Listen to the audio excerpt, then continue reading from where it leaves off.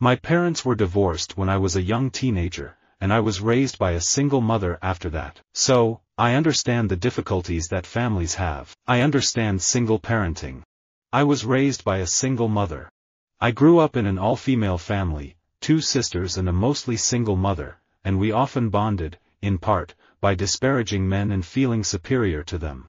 Being a single mother was the right thing for me, but I have a tremendous amount of help from my friends. They're in love with my kids, and my kids are in love with them. When I first started training Taekwondo, it was more just for discipline. My brother and I were two knuckleheads and my mom being a single mother wanted us to get more discipline somewhere other than her yelling at us. But I had no visions at all or aspirations of going from Taekwondo into mixed martial arts. I had a lot of guilt as a single mother trying to raise a child. I had to go to work and Jeffrey was screaming that he didn't want me to. You have to give yourself permission to let go of the guilt.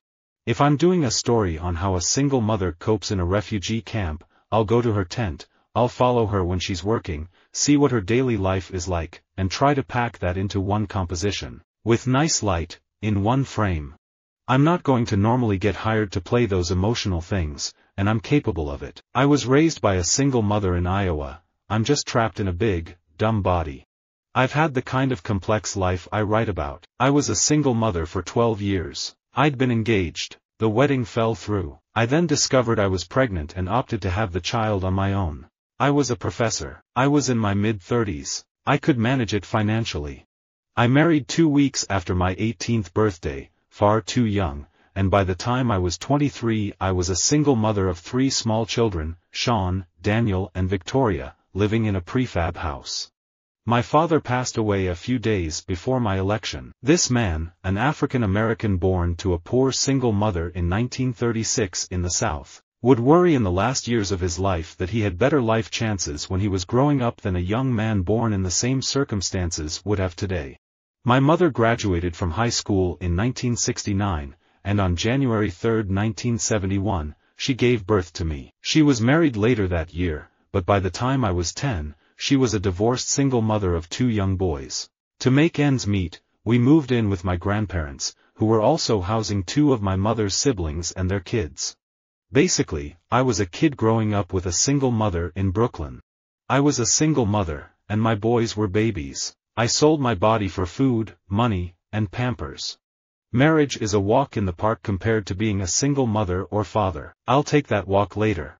I'd love to do some bedtime stories for kids or that kind of thing. But with the demands of the shooting schedule and balancing the demands of being a single mother, it's a wonder you can squeeze in anything. I was raised by a strong single mother. Sometimes, being a single mother, I miss the freedom. I see my other friends with kids, and when they go out for a drink, it is the dad that stays in. My mom was a single mother, raising my sister and me. My mom has an incredible talent for living in the world without traditional structure, and her friend, who was in advertising, put me in a commercial when I was five. It was just to make money. I grew up as an only child with a single mother. Because we were poor and because I knew my father had emigrated from Syria, I imagined he looked like Omar Sharif. Mine is a story about a teenage single mother who struggled to keep her young family afloat. It's a story about a young woman who was given a precious opportunity to work her way up in the world. It's a story about resiliency, and sacrifice, and perseverance. And you're damn right it's a true story. My mom was a single mother in the South Bronx living in adverse conditions. Seeing her struggles to get herself off of welfare and get back into the workplace and give me and my sister a better life, it's an inspiration for me. I am a single mother, that is the reality. I used to meditate all the time in bed. That was when I was raising my daughter, and I'd get her up and off to school, and then I would go back to bed and meditate. And then I would do the same in the evening, and that was very good for that period because I had so many things to juggle as a single mother. I'm ultimately a widow and a single mother, who's not even getting to be a mother right now. I am so alone, it's freaky.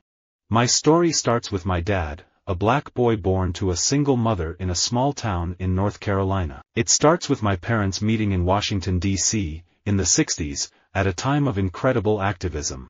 I was a single mother when my child was little. What is free time? I'm a single mother. My free moments are filled with loving my little girl. When I started getting so many haters and closed doors, I decided to prove that it could be done. I was a divorced single mother of three at the time and a size 12, not your typical model artist that labels feel work for the music industry. My mom was essentially a single mother raising three boys. If anyone could have had any reason to give up, it was her. But she didn't, and neither did we. I even thought of adopting a child as a single mother.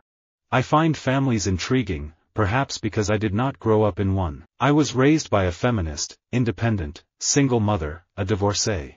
I'm a single mother. It's silly to turn down work. I've been overwhelmed, I was a single mother for a time.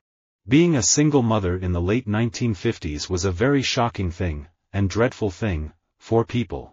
I believe I was actually the first single mother in a major film. Parenting is something that I got early, because when you grow up without a father being there, and you see a single mother struggle to feed the kids, you do not want to put your own blood through that. I'm the youngest of four. I have two older sisters and an older brother and was raised by a single mother. Basically, my household was just full of life. Everything was lit all the time. I was just raised in humble beginnings, three brothers together and a single mother who raised us the best she could. As a single mother of four, my mother taught me that you always want to show up strong for the moments that really matter with family, friends, and community. I now recognize how her strength helped shape the person I am today and the mother that I have become. Barack Obama was elected during my second year of college, and save for his skin color, he had much in common with Bill Clinton, despite an unstable life with a single mother, aided by two loving grandparents. He had made in his adulthood a family life that seemed to embody my sense of the American ideal. I just decided to take some time off. I've been modeling since 93, 92, and that's a pretty long time. I'm a single mother and I chose to focus on her. In truth, I am a single mother, but I don't feel alone at all in parenting my daughter. Krishna has a whole other side of her family who loves her, too. And so Krishna is parented by me, but also by her grandmother and aunts and cousins and uncles and friends. I grew up with a single mother, and I wasn't out shooting too many guns. There are things coming from me that I felt I wanted to talk about. My search for my own blend of spirituality, my acknowledgement of my sexuality, my being the single mother of a young man. I grew up with a single mother, and although we didn't have a lot of money, she cared a great deal about what we ate. We were the original health food family. We shopped at what were called health food stores before Whole Foods, everything came from bins. I think being raised by a single mother put me on the outside, and I would watch my mother's married friends and think, why does she put him down in public, or, why is he so rude to her? It seemed to me that there were very few marriages where the couple were genuinely in a supportive, loving partnership. I never really paid attention to sports, which, coming from the mecca of football in Texas, is kind of odd. I played sports, but I was nerdy. Having a single mother, the pressure was on me to get good grades and a scholarship and go to college. I was divorced when my children were young, so I was a single mother for a while. It's so hard to have to do every little thing yourself and be forced to navigate the rocky emotions of motherhood alone. I've got a single mother. Visit our website for more quotes, quoteing.com.